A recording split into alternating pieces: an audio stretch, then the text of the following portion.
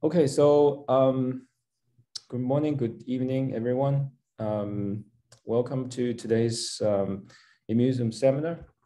Um, so um, it's my good, great pleasure to uh, welcome today's speaker, uh, Dr.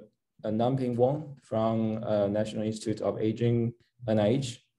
Uh, so Nanping currently uh, is senior uh, investigator in NIA, NIH. So just a, a very brief um, introduction about Nanping. So Nanping got his um, MD degree in Fudan University Medical College, and then uh, he continued to pursue his PhD in immunology in Baylor College of Medicine, Houston in Texas. And then after which uh, he continued to um, pursue his postdoc training um, still in Baylor College of Medicine and following with uh, the fellowship in, um, in um, uh, National Cancer Institute in NIA, uh, sorry, NCI, um, NIH. So from 1997, um, uh, Nanping started his own independent uh, research program as tenure track investigator uh, in, in lab of immunology uh, in National Institute of Aging, NIH, and then uh, currently from 1997 to, to now, uh, he actually um, uh, from the tenure track to the uh, tenured and senior investigator in the lab of molecular biology and immunology in, um, in National Institute of Aging, NIH. So um, probably a lot of us uh, actually have read or familiar with Nanping's uh, research work. So Nanping, uh, particularly interested in the immunology in aging related uh, questions, since aging uh, associated changes in adaptive immune system are rather complex and then uh, highly conse consequential for the health and, uh, and the disease for both um, young people and adult and the older people. And uh, Nanping's lab are particularly interested in uh, alteration of composition of T cell and B cell uh, and their function with advance of ages and the molecular machinery underlying these age-related changes in lymphocytes. Uh, in, in, in particular, um, Nanping study uh, to identify the key transcription, transcriptome and then uh, epigenetic changes which cause age-related uh, reduced function of CD8 T cells. Uh, both include naive and memory T cells. Um, the second interesting is uh, his lab uh, tried to determine the size of general and antigen-specific antibody TCR repertoires and their changes with age. Uh, and the third uh, part of his lab's work is try to elucidate the role of uh, telomere and telomerase in, in regulation of lymphocytes proliferation and function in human uh, longitudinal follow-up samples, as well as uh, genetically modified um, mouse models. Um, I think Nanping's a lot of work, uh, a rather pioneer and then open a new, um, new um, territory for the aging-related immune response, both innate in adult immunity. Uh, with that, uh, Nanping was uh, highly recognized in the field, um, both in, in terms of scientific and also I think one thing I particularly admire for Nanping's work is he has uh, a lot of successful trainees and then got uh, many different awards, uh, both intramural and extramural, uh, in terms of his uh, excellent guidance for the postdoc and also postbac trainees. So uh, without further ado, we are looking forward to your talk. Nanping, please take the floor. Thank you, Tuan. can you hear me? Yes, we can okay. hear you. All right. Uh, yeah, thank you. Um, uh, today, uh, I'd like to share with you some of my work uh, uh, contributed by my fellows in the past years. And we are interested in aging, as Tuan mentioned, and particularly in T cell immunity. And today I will tell you two uh, ongoing work on TCR repertoire and the CD8 T cell response. let's see, can I move the slides?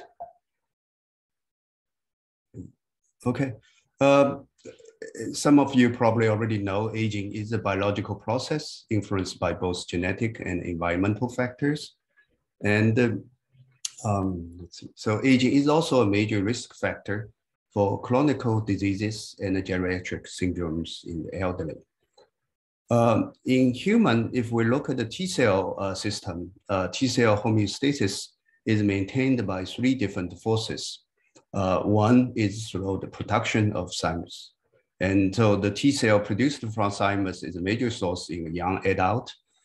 And in the peripheral, uh, the two additional source operates. Uh, one is by antigen driven um, activation, differentiation, expansion. And those uh, expanded cell, uh, majority of them undergo apoptosis. And then another force is homeostatic expansion uh, for particularly naive cell compartment. So the, these three forces collectively maintain the homeostasis of uh, T cell in the body. Now with aging, uh, what happened is we can see here is the major change is the thymus, uh, thymic involution atrophy that leads to gradually or substantially even cease the production of T cells. Now, that leads to the other two forces maintain the peripheral repertoire. And then you can imagine that uh, the T cell without a new T cell, uh, the, the size of the repertoire can only go down. And uh, that is, leads to two major uh, findings in the aging. One is reduce the function or alter the function of T cells, and then is reduce the repertoire diversity. Now, both of them are known for a long time, but with the mechanism underlying these changes, uh, both functionally as well as the degree of repertoire uh, reduce reduction with age is not fully understood. Uh, I will discuss what the reason of these uh, things in the later of the lecture. So I will focus on two, uh, two parts of the talk. As I mentioned earlier, I want to discuss the general human alpha beta TCR repertoire and its change with age in vivo. And I want to discuss the CD8 T cell response to uh, influenza vaccine in old humans. And uh, uh, it started with TCR repertoire as you know, TCR, uh, the TCR we'll talk about is the alpha beta TCR and consider alpha chain, beta chain. And here is the crystal structure. Uh, uh, we uh, worked with Roy Mariuzza's lab and determined, and you can see here the top part uh, is the TCR repertoire, uh, TCR receptor, and you have alpha variable region and beta variable region. And this loop of the CDRs interact with the peptide and MHC. Um, so if we look at these TCR, uh, they located in two different uh, chromosomes, alpha, beta, and they all form uh, sort of the genetic element rearrangement in alpha by V and J, um, in beta and V and D segment and J. So both of them uh, rearranged in a way that after pairing can create about 5 to 5.8 to 10 uh, six different TCR uh, receptors. Because the junctional uh, region is not precisely junctioned, you have a deletion insertion that create another five order of the um, potential uh, diversity.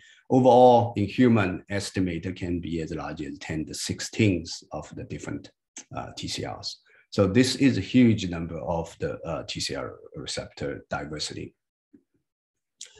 Now, when we talk about the TCR repertoire, there are two common measures of the TCR repertoire. And one called the species richness, and the other used often called the diversity indexes. And there's many different diversity indexes and used to um, measure the TCR repertoire. So if we look at it here, if we took the cell from human, rearrange them in a way that based on their T cell receptor, uh, which is shown here. So if one color represents one kind of T cell receptor, uh, what you see here is the very bottom line is the uh, each different TCR receptors. And the naive usually have more uh, TCR receptors uh, than different receptor than memory. And on the vertically, what you see is the clone of the same cells. So the two measure of these is the first measure we call the species richness is a measure how many different TCRs in a sample or in a body. So that called the species richness. But the, the, repertoire, as I mentioned, or the homeostasis of T cell requires activation, differentiation, and expansion. So some of these clone, TCR clone, if they encountered with antigen, uh, they become abundant or expanded. And this is how uh, infection caused the consequence as well as the vaccine. When we induce the vaccine, we want to expand those antigen-specific cells.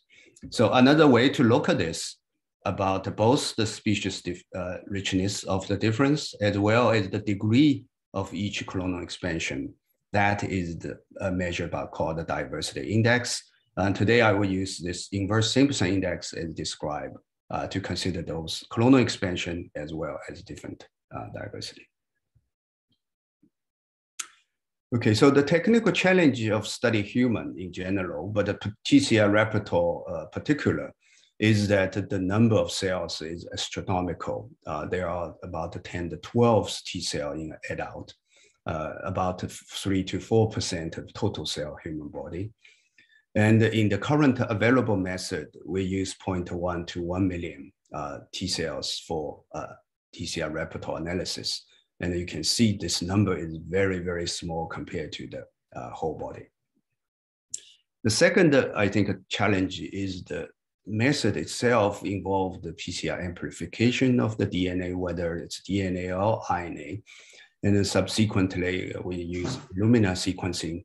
Uh, so you can see both cases. If the fidelity of the Taq polymerase is high as the 10 to minus 7, but for 100 million reads, you still have about 1,000 um, uh, to uh, errors. So if you look at the Illumina uh, base calling uh, quality, often we use 30 as uh, uh, criteria. Below 30, we don't use the sequence calling data. So it's 90.9%, 99.9%. But for 100 million reads, you still have 10 to 5th errors. So this this is a challenge to because the unlike other uh, human DNA sequence, you can have a human genome sequence, a reference sequence. But TCR repertoire does not have a reference sequence because they have an insertion and deletion variation in the junction region. So uh, to overcome these things, I think oh, the early study revealed this really nicely in here. Uh, this is the early publication, uh, like this is the example. And you can see that if you look at the read steps versus the different TCR repertoire, uh, different sequence, 65% of the sequence are unique read. And this is not a lack of uh, sequencing depth. If you keep sequencing it, you still see lots of unique reads because these are the reads from different arrow, either PCR or sequencing arrow. So to overcome this, I think the method we developed a few years ago is labeled, this is an RNA-based uh, TCR repertoire analysis. And, and they labeled, uh, during the cDNA synthesis, labeled a unique molecular identifier called UMI. And the UMI consists of unique sequences uh, in each of the UMI. So each of the mRNA labeled with a unique UMI. And that incorporated this UMI allowed to PCR and then the sequencing eventually align the TCR based on this unique UMI sequence. So if you have an error, it can be corrected by the majority of the reads in the group. So this significantly improved uh, the quality of the TCR sequence by reduce the, uh, the error associated for this. So because of that, I think that nowadays the sequencing is widely used in the RNA-based, at least uh, this UMI technology. So before we uh, studied this, and several papers published on this study of TCR repertoire change with aging, all these study focused on TCR beta because the beta ha has VDJ rearrangement, so it's much more large repertoire than the alpha. So people focused on the beta. And you can see here, and in this study, uh, you can see the age from uh, very young, under five, six years old, all the way to over 90 years old. And you can see the TCR. This is a total T cell from blood. You can see the TCR repertoire overall decrease with age. Um, but if you look individually, and you can see younger people have uh, about the same kind of TCR repertoire as older people. So it's highly uh, different individual to individual. And for those analysis, we call the cross-sectional analysis in a group, you need a large number of donors. And even that case, you only can calculate the, uh, the sample uh, rate of telomere uh, length, uh, rate of TCR change.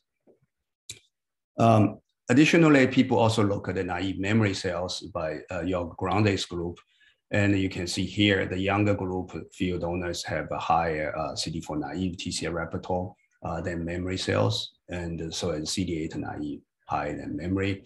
Uh, in the, mem uh, in the uh, memory uh, higher than older individuals. So in the memory compartment, the young and old still differ, but not as obvious, especially in CD8 memory cells. So as I said, these are done by different individual and you see different individual has highly different uh, level of the TCR repertoire size. So uh, in order to do a better um, TCR alpha beta repertoire analysis with age, I think we have to consider several things.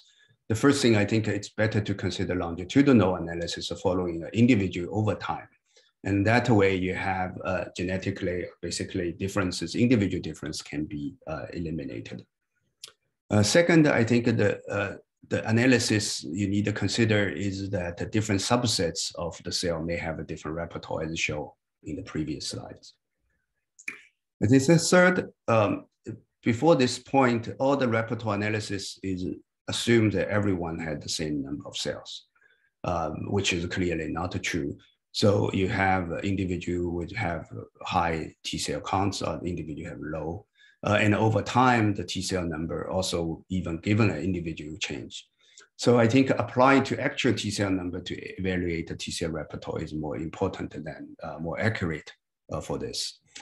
And lastly, I think this kind of analysis often find that uh, each measurement, often we take one sample, just measure and call that repertoire size. But usually those samples have different variations. So determining the variation of the method uh, measurement is important to accurately estimate the aging related change. Okay, so with that, uh, we designed a study here shown is we collected 30 different individuals and each line is one person. The top is male, bottom is female, and the age cross would add out uh, uh, lifespan. So from about 20, we collect this uh, later 20, uh, each individual have about average nine years. So you have a second time point of the data collected of same person. And this cross all the age. So the oldest one we started with 80 uh, to 83 to over 90 years old.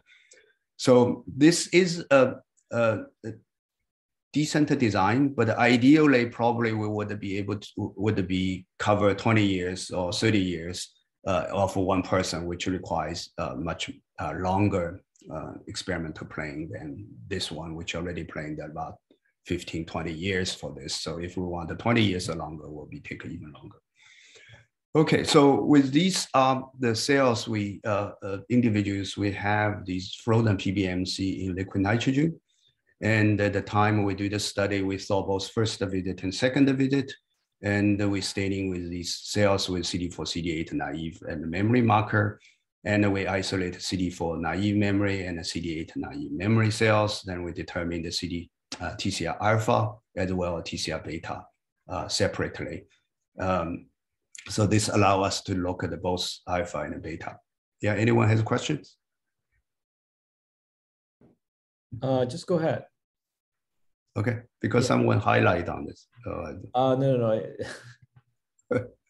okay, so okay, so let's go back to the the findings. So, so as I said, that the lymphocyte counts or change with age and they change within individual. So you can see. So first, we determined the, the lymphocyte count in the body. So we use the um, uh, CBC and the, the body weight and height and these equations available. Uh, so we counted the cells and ask how many CD8 T cell, how many CD4 T cell, and then this show CD4 T cell in red, CD8 T cell in uh, blue. And you can see a small line, the individual, each indicate individual thin line. So you can see there's a clear decrease, uh, significant decrease with T cell number, both CD4, CD8, as well as CD4 naive memory cells shown here. Uh, the naive decrease more obvious in CD4 than memory cells, same as CD8. And the CD8, the blue line, you can see the most the loss of the CD8 in CD8 naive cells. And all of them are um, CD8 cells, naive cells are significant loss. Memory is not as uh, obvious as um, naive cells. Okay, um, so yeah, so I think the others, I uploaded the slide. So this one I should go over before the other slides is that uh, I mentioned that we needed to measure the variation of the each measurement. So what we did is we take the same person, uh, same naive memory subsets into error quarter three or four different files. And um, unlike other measurement that uh, this kind of is complete repeat, but the, the each well have the cell, the diversity of TCR receptor is actually varied. So we need to determine that variation in order to estimate the sample variation. So this is what we did, and uh, this is the result shown here.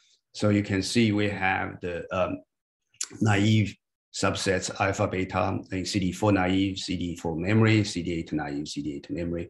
And you can see there's different degree of variations. And these variations important for us to estimate uh, the age change. And the age change should above those sample uh, individual variations. So, okay, so um, we show you is now is the TCR repertoire using this variation adjusted. And you can see here, uh, the, on the left is richness, on the right is Simpson, uh, inverse Simpson index, and the refresh richness is looking for total different TCR, uh, TCR receptor, number of TCR receptor. And the index is looking for both the different receptor as well as the clonal expansion. So in the index level, the higher the number is the more diverse uh, less expanded. And the lower the number, smaller the number is the clonal expansion is much larger and the receptor, different receptor is smaller. So what you can see here is that if we compare alpha beta, and we see that the alpha is less changed with age than beta. So beta has a significant change with age in CD4 cells. And if you look at the um, uh, diversity index, in fact, that uh, the both alpha and beta reach the statistical significance. And here show the rate of the loss per year. Okay, so next we look at the CD8 cells, um, shown here. So if you look at the CD8 cells, if you remember the CD4, one is CD8 cells has a smaller uh, repertoire size than CD4 cells. Um, and you can see here um, that the loss of the uh, TCR richness in CD8 cells decrease wage, also significantly in beta, uh, less significant in uh, alpha. In terms of index, and you can see both are significant loss. So index, in a sense, measure aging is more sensitive than the species richness in terms of um, uh, revealed the age change. Next, we look at, at the naive memory cell level.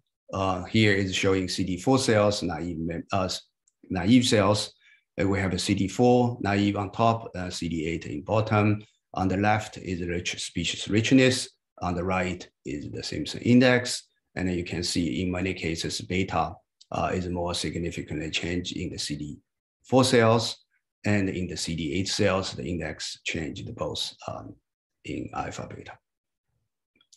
Um, compared to CD4 cells, uh, we can see CD8 cells uh, is also similarly uh, changed uh, in memory cells here, which show you know CD8 memory is less compared to CD4 naive cells. So as CD8 memory change less in CD4 CD8 naive cells. So the repertoire change at the total level, we observe both change in CD4-8.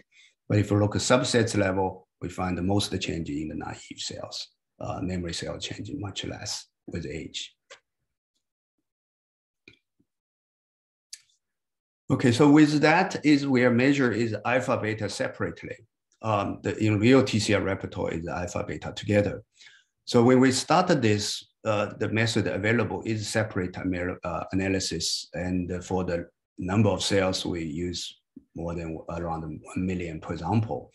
Now the single cell develop rapidly, uh, but still the number of the cell for analysis is much less than uh, the separate analysis. So to overcome this um, analysis issue to estimate alpha beta TCR repertoire, uh, we analyzed the uh, published the single cell alpha beta TCR repertoire, and these shown here. Each dot is one person, and uh, we ask what's the relationship in the single cell uh, repertoire, the alpha beta ratio relationship, and you can see that there is a linear relationship if we take the uh, uh, alpha richness compares paired alpha beta minus the TCR beta repertoire.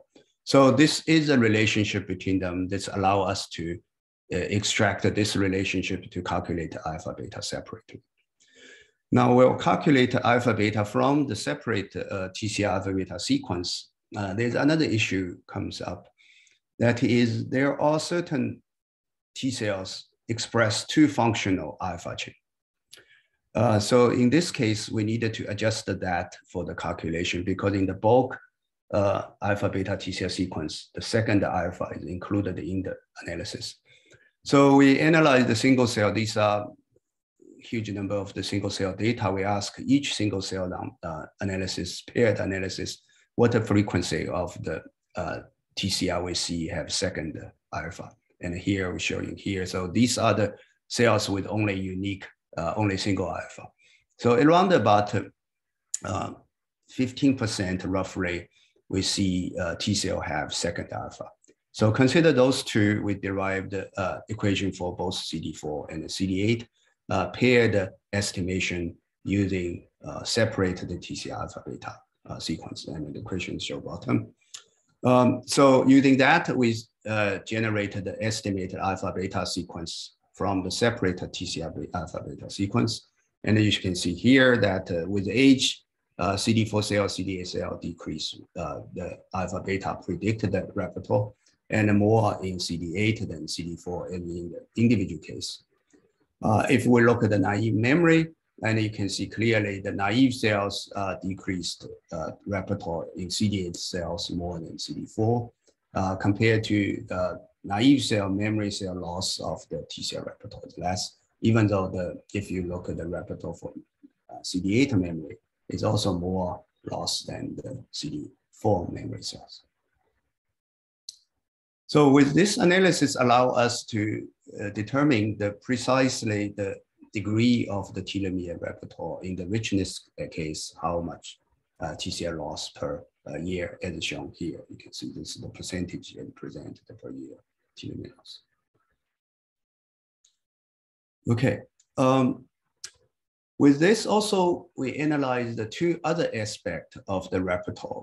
Um, one is we look at the, how stable the repertoire by comparing the TCR sequence from the first visit of the person to the second visit.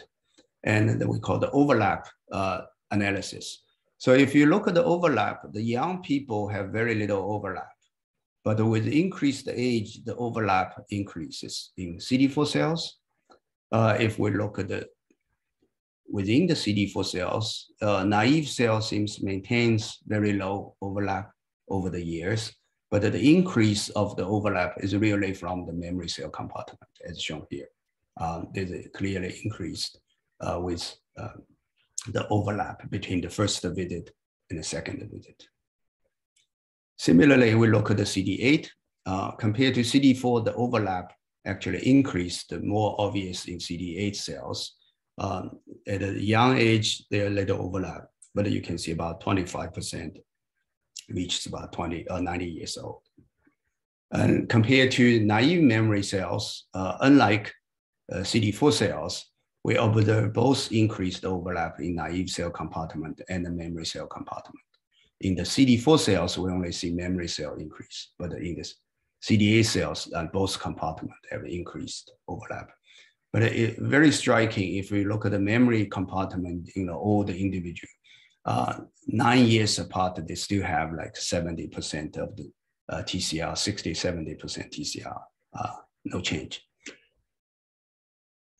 So lastly, I want to tell you a little bit about the public TCR clonal type. Now, these individuals are not have do not have the same uh, MHC uh, class one or class two. So they are very different MHC class one, class two. But nevertheless, the TCR sequence can still be shared. And this XX showing you is the how many subjects shared with this TCR. So from one is private, only that a person has it. And to 30 is that the TCR, every person have that TCR. And the, the Y-X shows you the abundance of that TCR. So interestingly, you can look at the, the abundance seems gradually increase with the publicity. So if the more people shared, the clone seems more, the TCR with the alpha beta seems more abundant, and both in CD4 case and in CD8 case in alpha. And the beta probably that is some uh, zigzag, but the overall the trend is that the pub, the more public clone seems more abundant.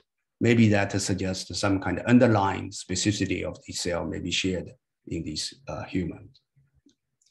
Another way to look at this is that uh, we took the public sequence, we ask what's the public sequence percentage in the total, uh, in the uh, total TCRs. So we observed that the increase of those public TCR by the sharing among them in the total TCR is increased. So in both, uh, this is the, I believe, CD4, and this is the uh, uh, CD8. And uh, in both cases, you can see the CD8 is more obviously increased than CD4 cells. So I can summarize this part of the talk is that we have analyzed about 200 million T cells from 30 uh, study subjects. Uh, we identified uh, over million, 1 million and 3 million, around 3 million TCR alpha beta sequence respectively. And if we put all these sequences together, to estimate adult human uh, repertoire, we come up with somewhere around the 4, 10, 4 times 10 the eighth different alpha beta TCR repertoire uh, cells.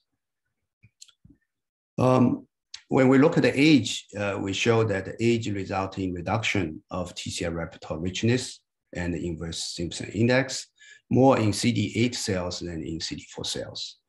And if we look at the greatest reduction of TCR repertoire richness is in the naive CD8 cells.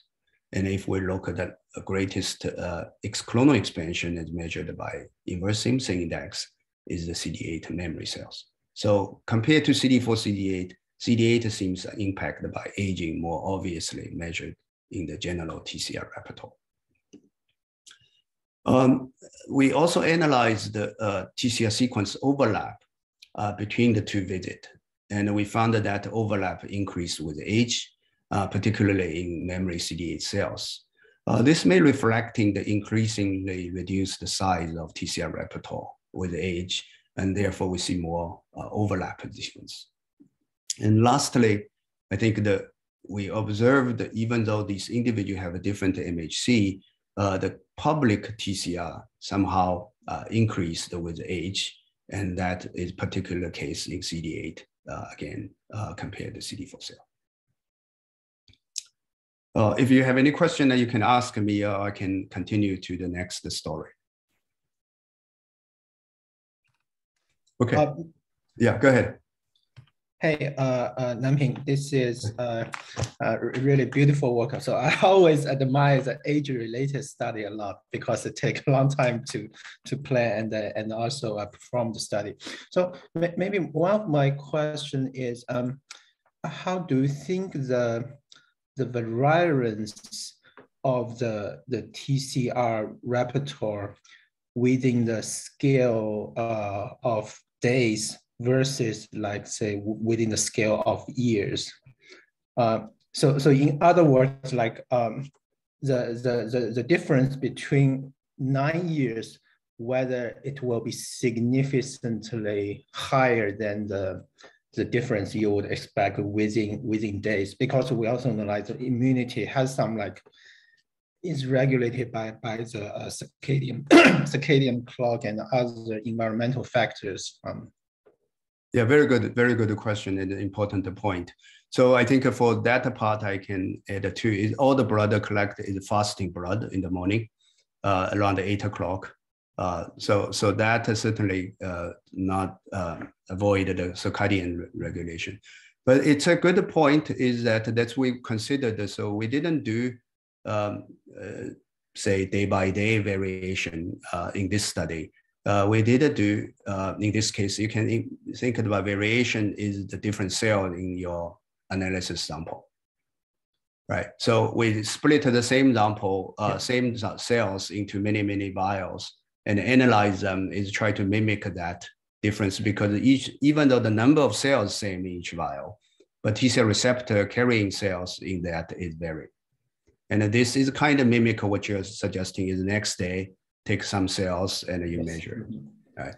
But uh, it is better to do more uh, zero analysis to to consider whether this is the age change or sampling change. Right. So we use our age-related change in each individual analysis. Uh, we ask at least uh, one standard deviation, one standard deviation greater than the variation we measured for that subsets of the, that TCR alpha or beta. I see. Okay, cool. Yeah, thank yeah. you. You're welcome. Any other questions?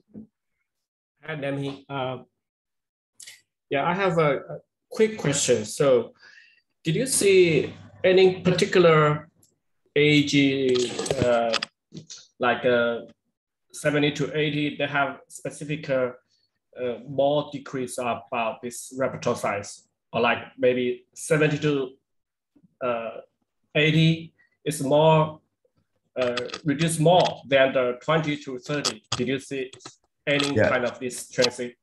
Yeah, good question. So I think to answer your question, uh, this particular question, I think we need more donors to do that because we only have 30 donors. So you can see that at any given age range is only two or three, uh, four people.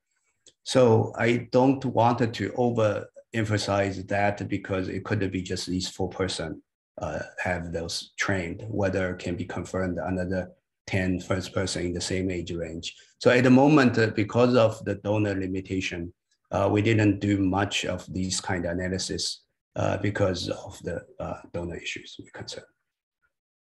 But the, question is important uh, to look at and uh, which I think requires more donors in each age range.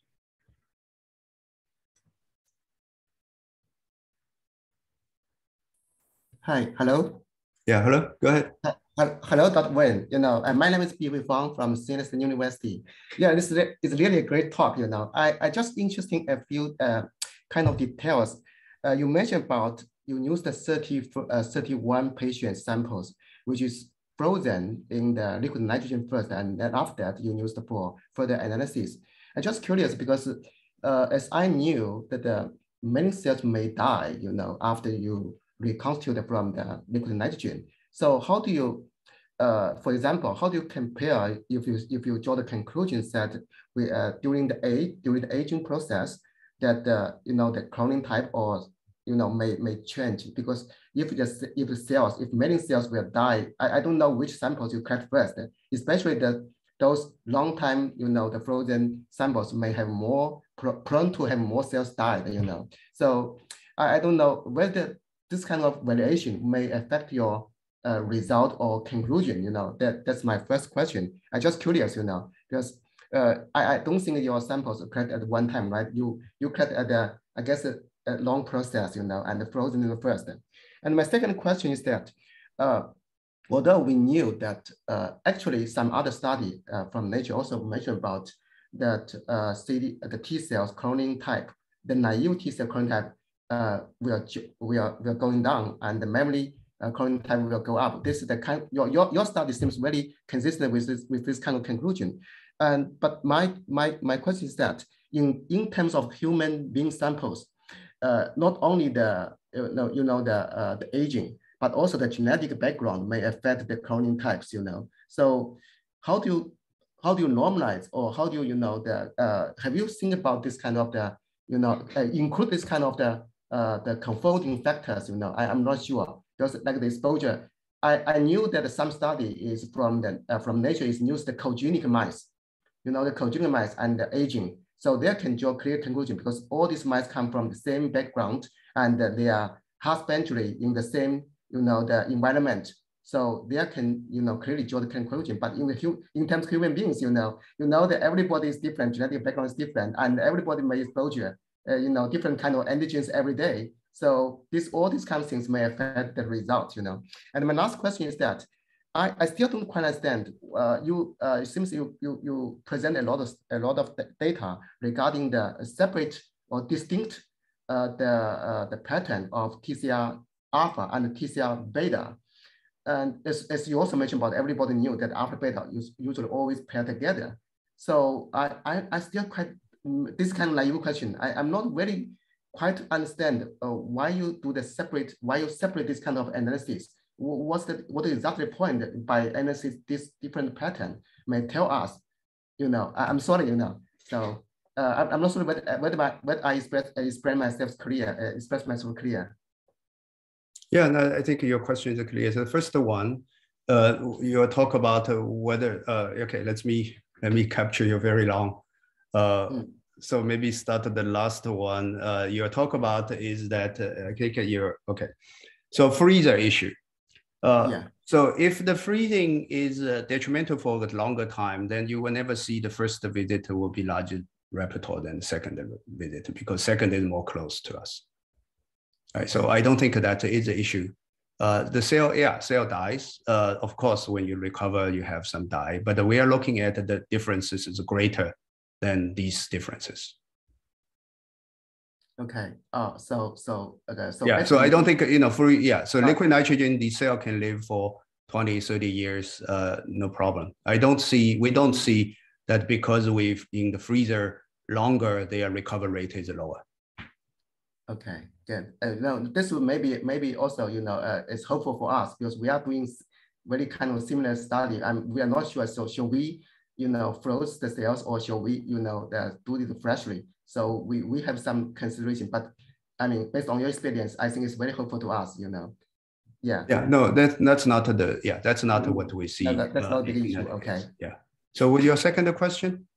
Yeah, and my second is that, uh, like I said, you know, uh, uh, although uh, some study using the mouse model, then using yeah, yeah, okay. So that yeah. case, this is what we exactly we did is longitudinal. So we consider mm. genetic uh, differences in individuals. So we follow same person. We ask okay. how this person change over time.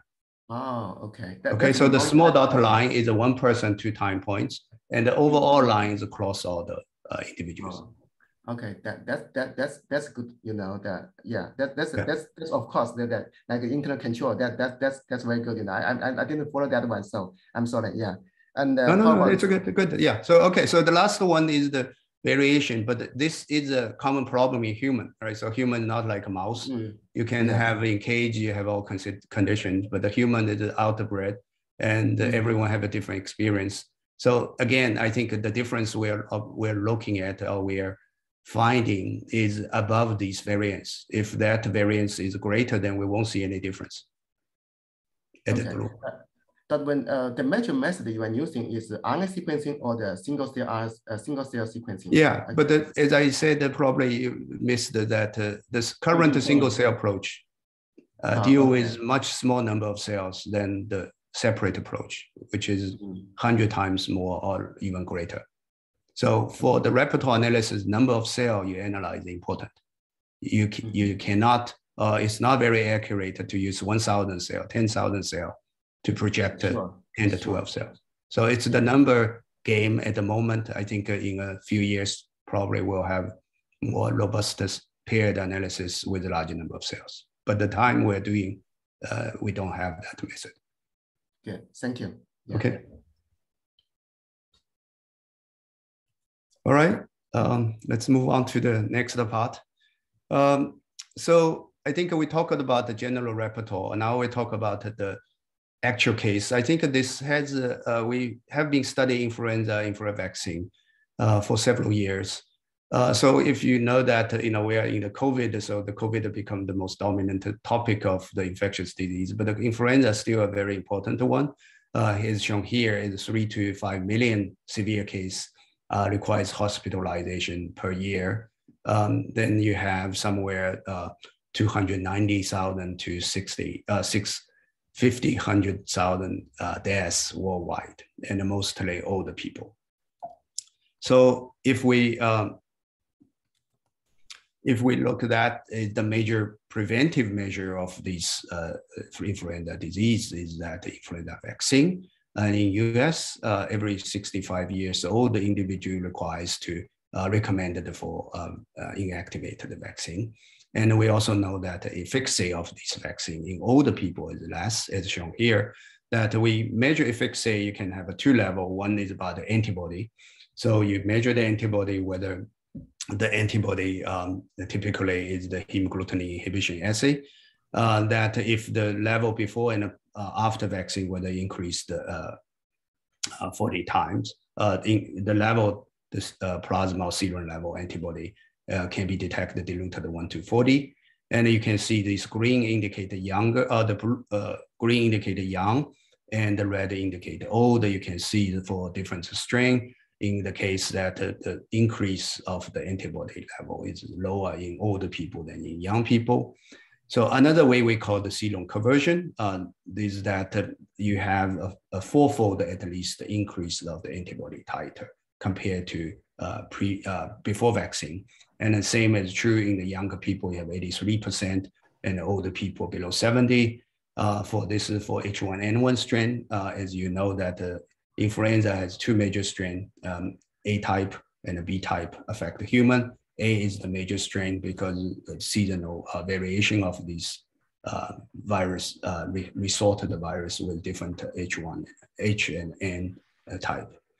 Uh, another way to measure is a little bit a challenge than uh, the first measure is that clinical vaccine efficacy. That is over a, a, winter season or so, you ask as a population, vaccinated group versus unvaccinated group, whether uh, they have a difference in terms uh, infection rate. And this difficulty is that uh, sometimes people have a mild, mild infection, they didn't uh, really go to hospital, then this individual could be missed. So the antibody measure is still the common way to detect whether the immune system responds to the vaccine. Many studies have been done uh, in B cell and T cell uh, within age to try to explain why older people um, have more problem. As shown here, you have reduced uh, so-called interlineage diversification uh, in B cells, and you also have uh, expansion of typical memory B cells post-vaccination, and as well as decrease the uh, B cell response to produce uh, antibody due to metabolism or other factors to weaken the B cell uh, immunity. Similarly, influenza T cell immunity has been looked like a TFH, uh, they produce different cytokine, they're kind of inadequate for vaccine response in elderly. Uh, in particularly, the CD8 cells has been looked at specific CD8 cells because there's a dominant epitope in the HLA2 individual, and that uh, is the epitope we study as well.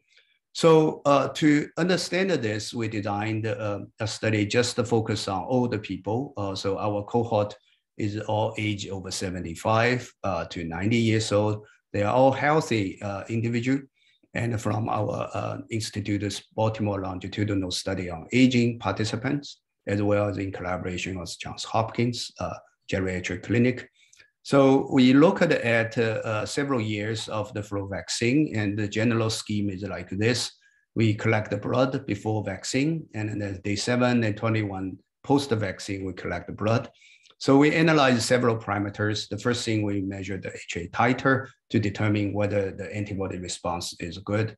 And then we group the individual based on the antibody um, uh, expansion. So we use fourfold as a criteria. We didn't use the, uh, the first criteria because the older individual all have very high baseline uh, antibody titer. So we use the induction as a more accurate measure of the uh, immunity to the vaccine. So then we measure, uh, take the blood, we measure telomere length, we do flow cytometry analysis, and we isolate the HA specific B cell, as well as this particular epitope M1 uh, matrix protein. Uh, epitope is very dominant in HA2 individuals. So all these individuals are HA2 uh, positive individual. So today I will focus on the T cell part. So we took these cells, did a single cell um, analysis, and allow us to determine both the clonal type as well as the uh, uh, differentiation status based on uh, transcriptome. So we compare those uh, good HI uh, response, antibody response to the poor responders. Uh, we look at the telomere length, the TCR repertoire, and the clonal expansion and the differentiation. So this is published ago, so a few years ago. So we show that the robust responder always have a longer telomere than the uh, poor uh, responder. And we also found that if we measure the M1, or which is which is we call the GIL specific uh, TCR, if you look at the uh, pre vaccination, we usually don't see very much. They're all below 1%.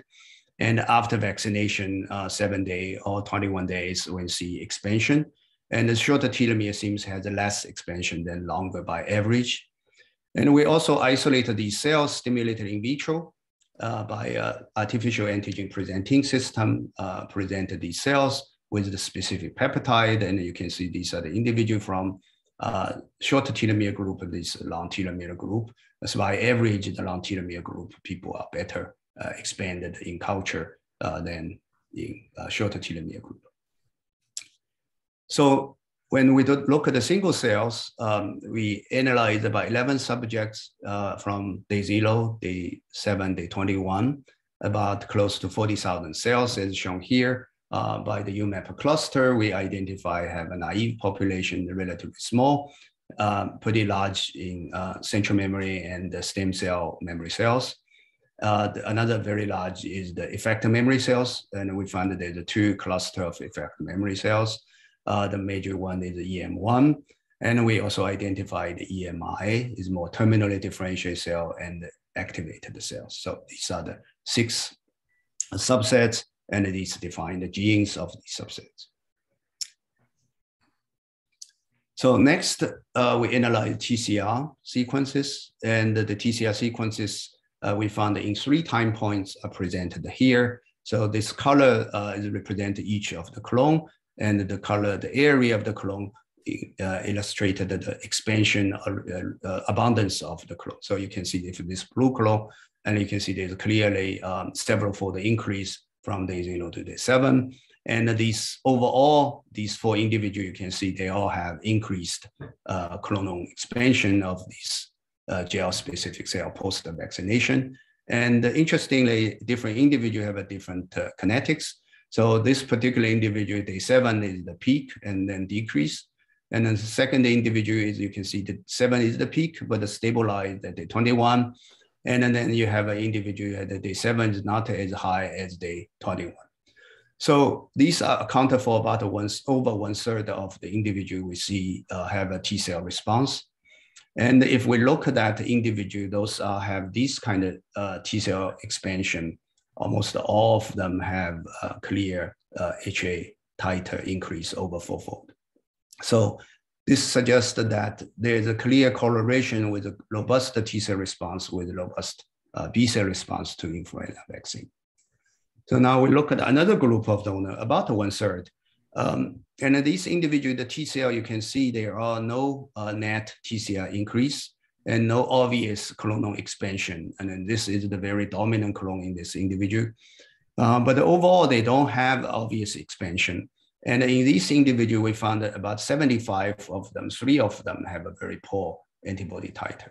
So again, the T cell response and the B cell response seems some degree correlated in this case. So next we look at the repertoire. So we ask the day zero before vaccination, uh, the, rep uh, the TCL from the GIL specific TCL from good group versus poor group and you can see they are significantly differ. In this case, Simpson index inverse uh, index diversity. The one is most diverse. Zero is means that least diverse. So you can see there is a job uh, difference between the good responder have a much better uh, TCL repertoire. Uh, this look at the total, all the T cell at the day zero. And then we look at the T cell that we find that it actually clonally expanded or clonally related over three time point. And in this case, these are the clone is a subset of clone finding day zero, day seven, day 21. Again, we also see that there is a clear difference in the uh, diversity. Those clone can expand in the good individual versus the clone also detected in three time points is much lower uh, diversity. So the next we look at um, the um, differentiation status of these cells. And as shown here, we have six uh, subsets of cells, and this is day zero, uh, day seven, day 21. These are the clone detected in all three time points. And you can see that on average, you see EM1 is the major uh, effector cells is the major population. And from day zero uh, to day 21, decrease. Uh, those good responders show, interestingly, the uh, central memory and the stem cell memory cells are increased at the day 21. Um, if we look at the same uh, phenomenon in a poor responder group, and you can see here also three days cells, and they have actually opposite to the uh, good one is the central memory, uh, cell memory. They decreased over time. And the EM cell, EM1 cells remain relatively high. So from a repertoire analysis, from the differentiation status analysis reveals the difference between the good responder and the poor responder.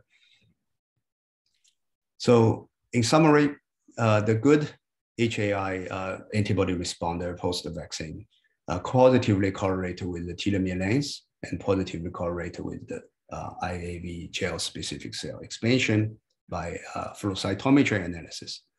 And at the single cell uh, analysis, we found that the good HI responder correlated better uh, CD8 T cell specific repertoire and then the poor uh, HA responder.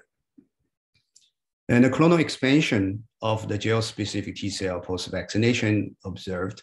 Uh, this is interesting because usually people think that the inactivated vaccine only induce B cell response uh, they do not robustly induce T cell response.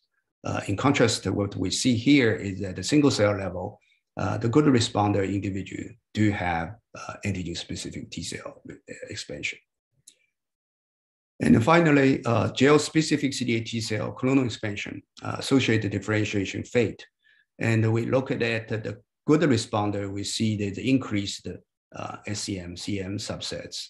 And that may inform the longevity of the vaccine-induced immune protection because SCM, CM has a robust capability to further differentiation and expansion compared to uh, effective memory cells. So let me conclude that uh, the, the talk. So we found that aging alters blood CD4, CD8 TCR repertoire. Uh, it both reduces the richness, mainly in the naive cells, and reduce the diversity index uh, indicate the clonal expansion mainly in CD8 memory cells. I show you that multiple factors affect age-related reduced IAV GIL specific CD8 T cell response measured by antigen-induced proliferation. Uh, the factor include the telomere length, T cell repertoire, and differentiation states. Uh, lastly, I think this is most important, uh, my group. Uh, these people in my lab did most of the work um, the clonal expansion uh, TCR repertoire by Xiaoping, Sun, and the flu influenza work by Jian Lu. And uh, many of my collaborators listed here that without them, that uh, it's difficult to do these kind of complicated uh, projects. And we utilize the NIH uh, Biowulf supercomputer system and the NIAID Tetramer I will stop here. Thank you.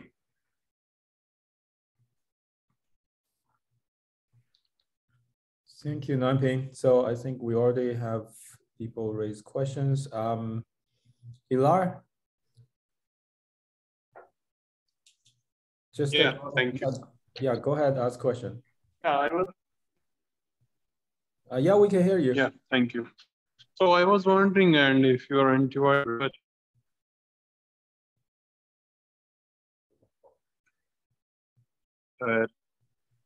Sorry, I, I think you you break up. Um, can you ask the question one more time?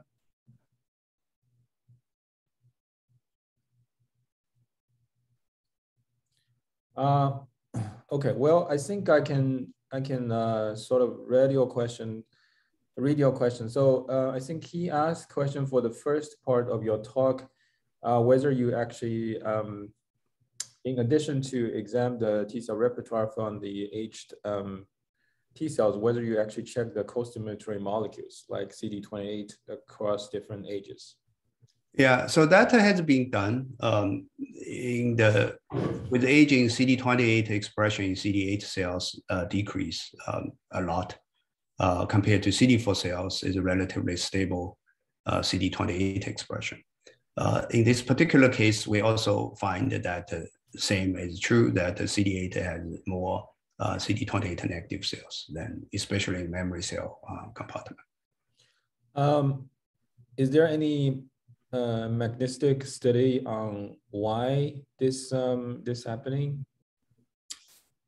Not completely understood. I think Jörg Goronzy's group uh, many years ago find that there is a methylation site in the CD28 locus that uh, seems affected by aging in terms of CD28 expression. I see. So this is actually related to the the impaired um, T cell response when people get aged. Yeah. So that is one of the explanation for why the uh, terminally differentiated the CD8 cells lacks robust uh, response, proliferation, proliferative response to CD328 stimulation or antigen stimulation is one of the explanation is that the lack of the CD28 molecule. So if you stimulate by IL-2, IL-15, these cell can divide robustly. I see.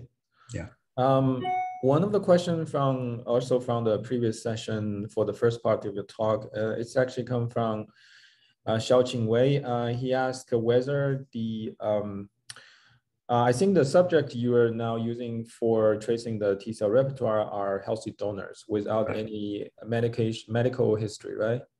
Yeah, no cancer, no chronic illness, no uh, at the time for any medications. So she asked what disease state will influence the T cell repertoire if someone someone uh, of these um, you know donors developed autoimmune or the other chronic uh, conditions? Good question. I, I don't know. I think this situation depends on partly how broadly the repertoire of the cell involved in this case. So if, for example, if autoimmune disease involve 1% of the T cell or 10% of T cell, I think that matters. If it's below 1%, will not be matters for this measurement. But if there's substantial number of cells involved uh, these kind of disease situation, which I doubt, uh, but that could be an issue. I see. Yeah. Um, okay, so uh, the next question, uh, uh, Guobing, Guobing, you yeah. want to go ahead and ask question? Okay, uh, thanks. Uh, for the second part, uh, I'm not sure, uh, did I miss uh, anything, but is the influenza antibody response good and bad related to the age? No, these um, are not related to age group. These are the same age group.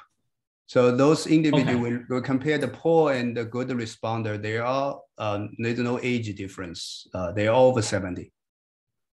Okay, then my question is like uh, what kind of mechanism between the um, you know relationship between the antibody response and the CD8 T cell uh, repertoire uh, size because it's easy to understand the CD4 T helper cells to the B cell, but how could CD8 and the antibody response can uh, perform same transit? Yeah, good, very good question. I think that is uh, obviously not a direct link of, between them, but maybe the link you mentioned is CD4 cells. Maybe these individuals have a good CD4 cells, so they could help a B cell to produce good antibody at the same time help CD8 cells.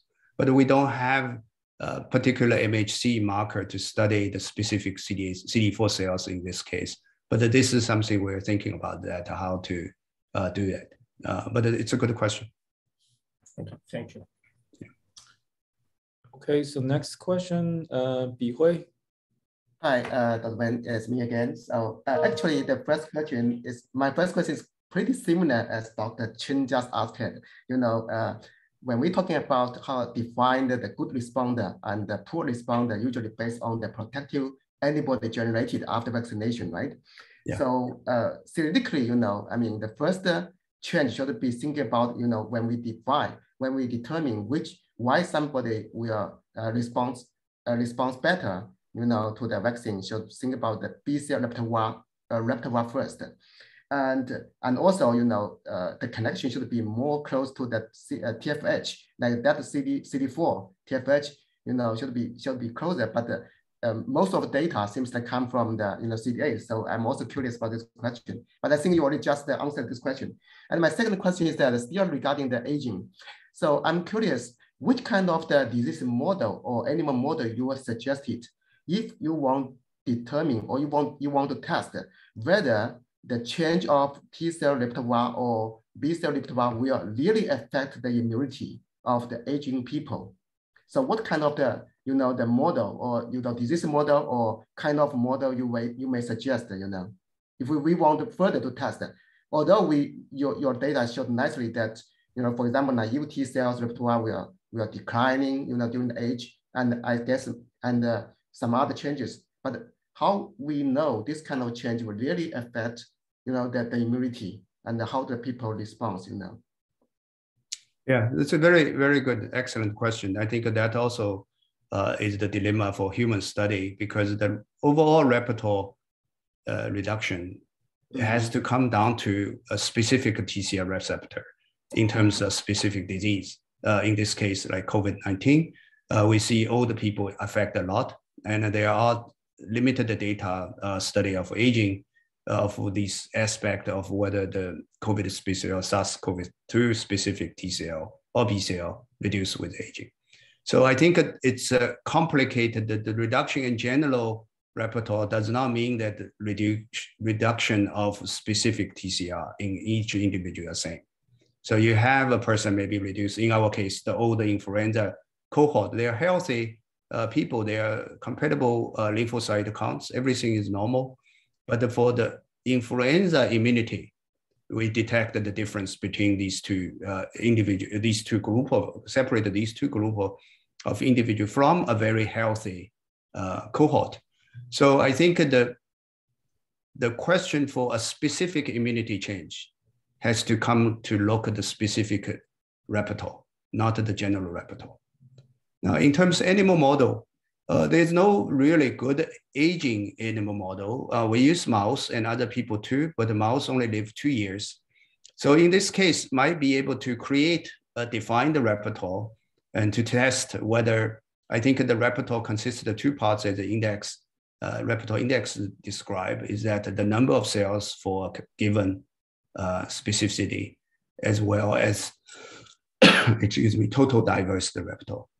So the animal model could be used to test that. okay, thank you. Yeah.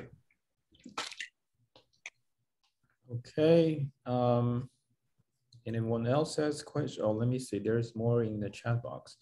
So Jerry asked, um, oh, so I think there's a question uh, from uh, Ying Yi. So she asked, uh, the role of differences in CD4 and CD8 expression in TCR. Um, what's the role? I think uh, I think the exact question probably the what's the role of the difference in CD8, CD4 expression in TCR during the autoimmune diseases? Oh, I don't know. Um, I don't I don't study autoimmune disease, so I don't know um, the difference. I think. Uh, some cases, I think they are all CD8 more dominant. Uh, other cases, maybe CD4. Uh, but I really not the expert autoimmune disease to answer that uh, that question. And uh, she has another follow-up question. What do you think is the the significance of the difference between the CD4, CD8 TCR repertoire? Yeah, that that is very uh, uh, important. I think the in the aging study, in our study and others find consistently the naive CD8 cells lost more dramatically with age than uh, CD4 cells. So I think considering the, the function of CD8 cells, which is cyto, cytotoxic T cells, so I think that aspect of function may be in the aging and kill like controlled viral infection. Uh, this kind of case that probably affected more than the helper T cell function. Now, uh, as a recent study by a Japanese group published PNAS uh, showed that the, in the very old, over 100 years old individual, there are many CD4 cells resemble CD8 cell function by express granzyme B, granzyme A. Those are typically toxic T cell function.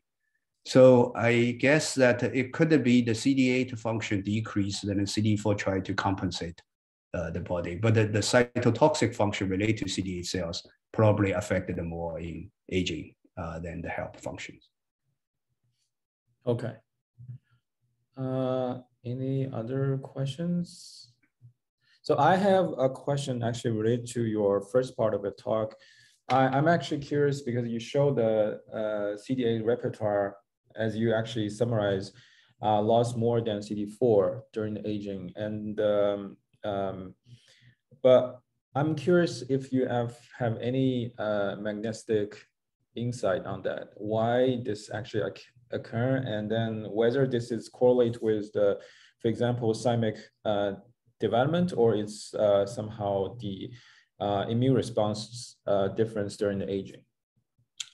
Yeah, so uh, I think the the in the blood, so all I speaking, all our analysis are from blood cells. So that's the limitation needed to be emphasized because this not does not necessarily true that uh, the naive CD8 cells in other parts of body uh, decreases decrease at the same rate as what to see in the blood. Okay, so the limitation is all the study is blood cells. Now, there are normal situation, uh, the adult, young adult, CD4 is twice more cells than CD8. So it, it's the purely, just purely the cell number, there's more CD4 cells than CD8 cells. I see. Um, so that could be a number game. So if you have twice more cells, you lost a little bit at the same rate even, then you still have more maybe diversity than the CD8 cell. That from the, the development of these cells. Um, whether the homeostasis of these cells uh, differ throughout adult life, there are some suggestions that uh, CD8 cells uh, in the old individual uh, can, some cases, uh, not confirmed by others, can have increased the CD8 cells uh, over CD4 cells. So the normal ratio is two to one. Mm-hmm. Some uh, studies suggest that if very old, weak immune system, the, the ratio could be altered, become one to one. But in our study and others, we didn't see that. So I don't know whether the lifespan wise or homeostasis of the CD4 and the CD8 uh, differ in therefore will cause uh, the difference in the uh, the aging process. Uh, I don't know. And then in this case, can you uh, is there any one um, study on the animal model, which I mean, like you said, it's probably not same as the human, but uh, similar in in a similar correlation that uh, if the mice get aged, that you also have the CD8 repertoire kind of decrease more dramatically than CD4. Say again, I did miss the first part. I'm, I'm saying that in the animal model, in terms of the yeah. mouse, is that a similar correlation? In the mouse, if the mice age, then then you also have more dramatic reduced uh, TCR, TCR repertoire in CD8 uh, compared to CD4? The answer is no, not, uh, I don't think as obvious as human. The two reasons. One is the thymus function actually is much more resistant in the mice. They can produce new T cells even in very advanced age. So not like human. So the production is different. Second is CD28 expression. So the mouse does not lose CD28 as obvious as human in CD8 mm. cells. So, so the, the difference in that aspect is, is quite, mouse is not quite the same as human. I see. Um, I see Hongbo uh, raise a question. Hongbo, you want to ask question yourself? Uh, yes, uh, uh, Dr. Weng, a very nice talk. So just wondering, uh, you mentioned uh, some TCR, uh, T cells with, yeah. uh, you know, more than one uh, uh alpha chain. So I'm just wondering uh, what will be the uh, function of this T cell and the difference between, uh, you know, TCR alpha beta, if we can call it TCR alpha alpha beta. Oh no, it, actually, yeah. So I don't know how to call, but this phenomena was originally described by Lanzavecchia's group. Um, it was a science paper show that uh, it's about the same similar percentage, 13 or some percent of the T cell have a second alpha beta pair T cell receptor. So the alpha, you have two different T cell receptor, apparently not at the same antigen. Uh, but to what degree now we are seeing that at the single cell level, so many of about you know 15% of the T cell may have two T cell receptor. Um, what's the relationship of these two, whether they are function related or they are, are randomly assembled by just a rearrangement uh, in, in, um, in the development, it's not known. Um, um, maybe we should consider give a name of what uh, what these cells should be given, but uh, uh, the functionally it's not clear. Okay, all right, thank you. Thank you.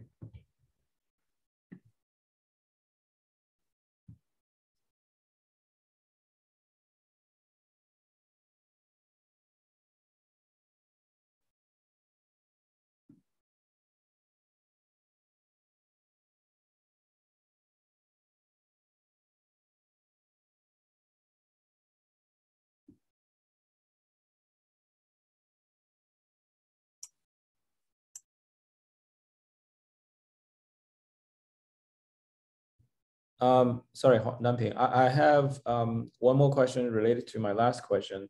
Um, so um, is there any other animal models which can be somehow correlate with the human um, phenotype?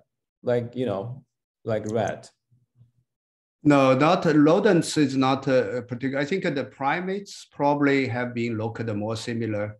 Uh, I think, for example, the uh, one of the marker in human use a lot CD45 isoform like CD45RA, RO. Uh, primates seems to have a similar one, but the mouse does have a different splicing. So yeah. okay, not rodent, but primary primary. There are people study that. Yeah, they do, but not as as many as you know. This all these study in the uh, flow case, you have to develop all the panel of antibodies. And then there's no, um, I assume there's not so many antibody available for the primer. There, yeah, not as many as human, but there are enough uh, the main kind of antibody available for that. I see. Okay.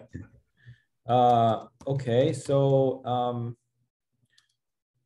is there anyone have questions for Nanping? Uh, if not, then thank you so much, Nanping. I think it's a wonderful lecture. Uh, I think we all enjoyed it. Uh, if anyone have any question, you can email Nanping. And uh, thanks again for participation. Uh, we're looking forward to meet you in person. Yeah. Yeah. Thank you. you. Yeah. Bye-bye. Bye-bye, everyone. Bye-bye.